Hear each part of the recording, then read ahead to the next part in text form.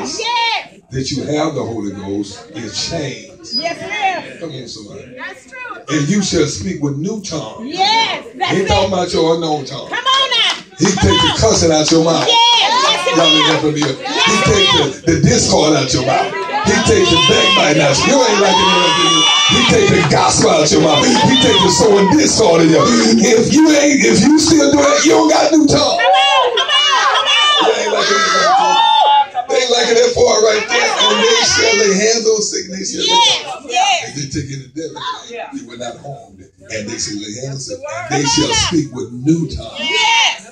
Not unknown tongue. Not unknown tongue. Come on now. But new tongue. I don't talk the way I used to talk. Right. I don't talk about my sister and brother like I used to talk about. Y'all y'all quiet right You there. right about it. I don't sow discord like I used to do. I don't gossip around the church no more. I'm not a busybody no more. Yeah, yeah, yeah. And they shall speak with new tongue. I knew I wasn't gonna get many amens on, on that part right there. I knew it. Pastor I knew I wasn't gonna get that. That's all right. Because they don't want that new tongue. Want the new tongue. Uh-uh. That new tongue will require something. Yes, it will. That's the first thing he had to deal with Yes, was our tongue. Yes. Y'all That's it. helping me. And he gave them tongues of fire. Yes, it is. gonna Yes, keep it following is. your tongue and gospel that too. Uh-huh.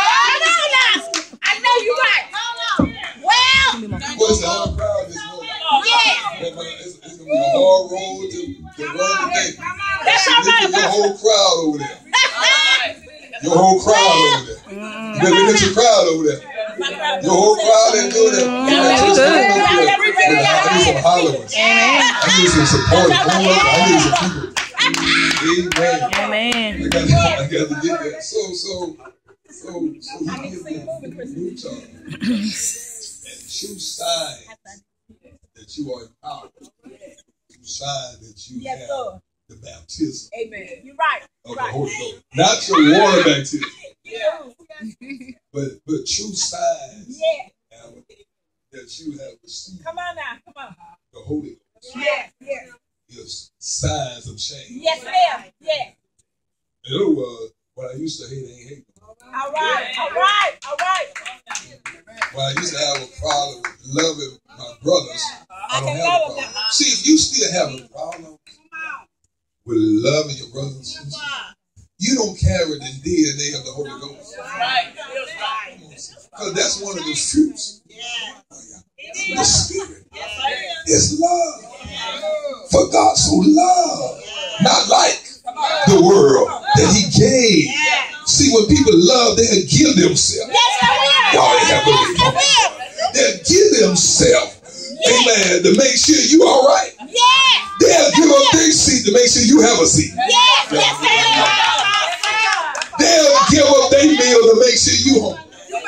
They'll give up something to make sure you taken care of. Come on, so when they really got love for real. Some of us don't got no real love for God. Definitely don't got no love for people. Because your love for God will reflect your love for your brothers. Yes, it will. Yes, it will. Yes, it will. God, okay, y'all like don't know what I'm talking about. How can you say you love God When you never see. who you have not even seen?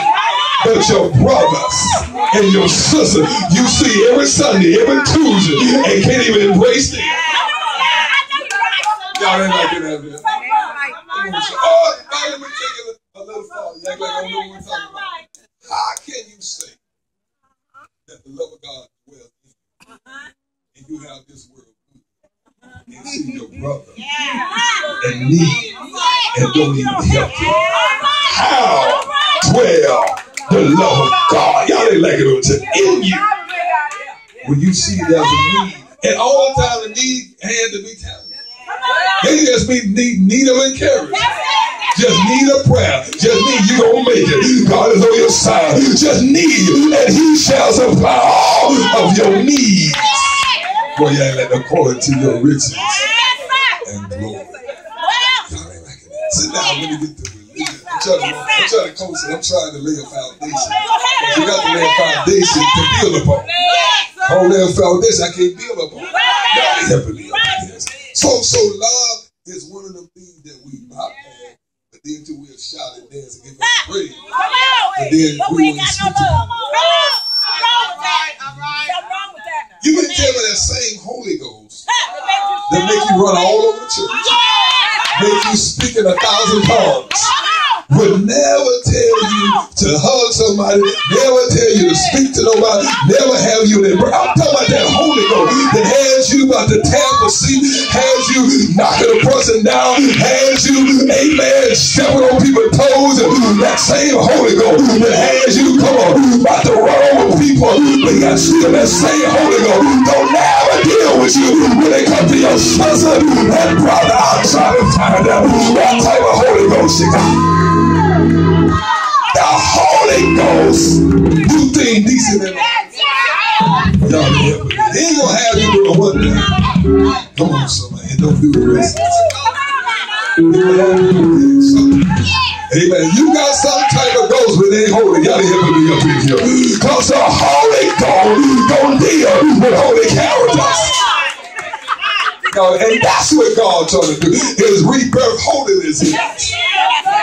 Somebody said holiness. You don't like that word because you don't want to be holy. For God is holy. They say you don't like holiness. Come on, somebody. For God is holy. And without holiness, no man shall see the Lord. Look at y'all can't say amen on that. So to have the Holy Ghost and don't have none of his characters. Y'all can help me up in here. If you got it, you're going to have some of his characteristics. If you, come on, a child of living God, you're going to have some of his DNA. Y'all ain't helping me up in here because the Jews had the devil and say, we not, amen, we were born of Abraham. He said, no, you weren't born of Abraham. You acted like your father, which is the devil. You carried his seed. He said, if you knew who I was, you wouldn't try to harm me. You wouldn't be trying to do me no your name. They said, if you really knew who I was, you would be talking about me. You would be treating me where you treat me. You'll be embracing me. You'll be loving me. You'll be praying for me. You'll be interceding for me. But see, you are your dad, your daughter, which is the devil. And he is a father of lies. If someone said a father carries a seed, y'all here. Come on, so and that seed just spreading everywhere. Come on, somebody. Somebody said it's spreading everywhere. Because they get ready for that seed. How far that seed there?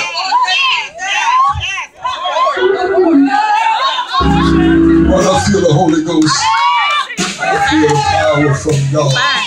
Get the and let me have it. Because we're talking about Pentecostal style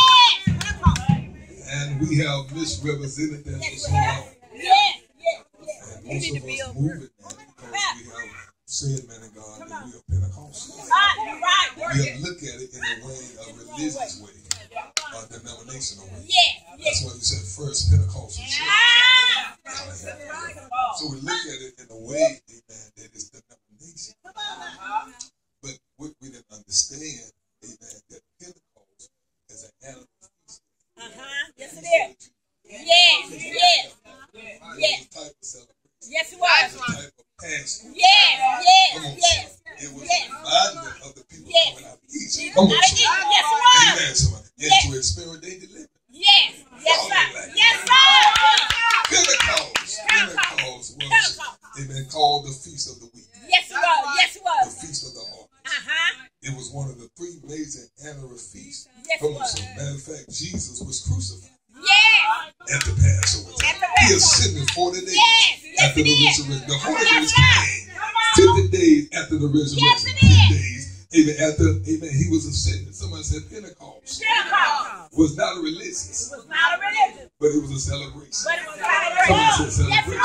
Yes, that the Jews would celebrate twice a year.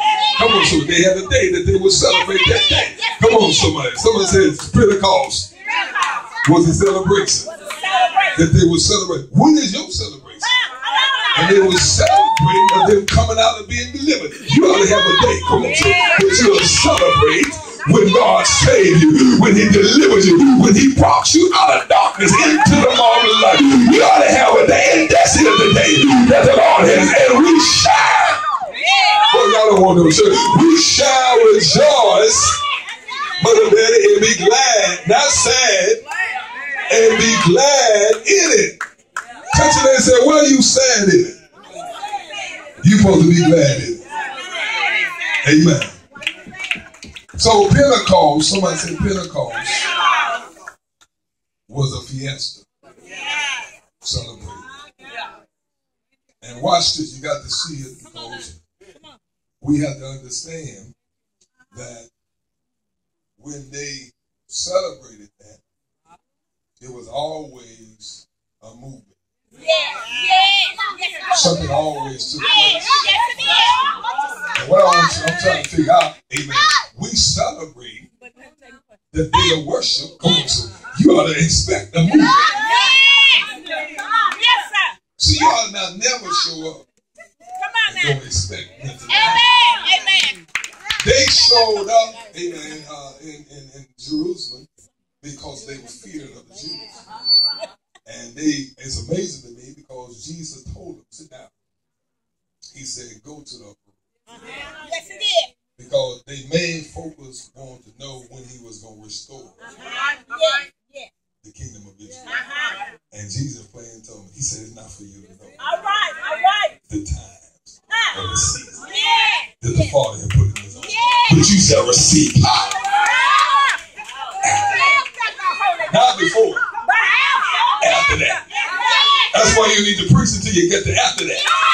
You don't need to you to after. You don't need to be laying hands. You need to be casting no devils out. You don't need to be doing nothing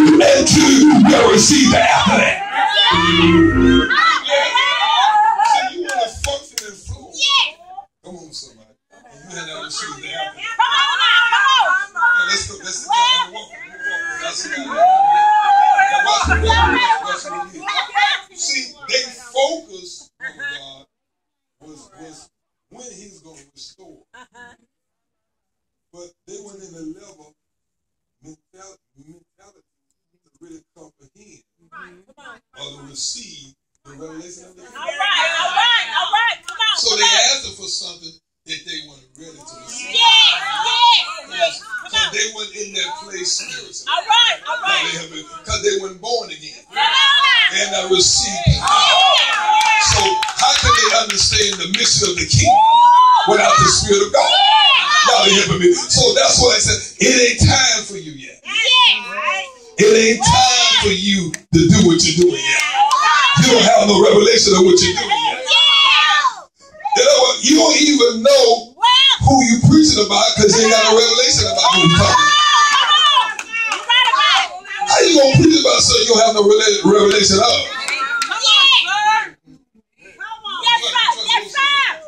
Now, now, now watch this. So he, he said, now you're not in a place spiritual. Even if I try to tell you, you still won't be able to understand come how the kingdom operates.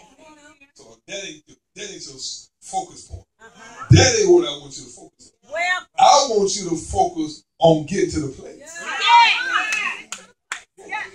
That's all. See, there's a designated place that I want you to focus on, and that is the place that I want you to reside and stay. Because something don't happen.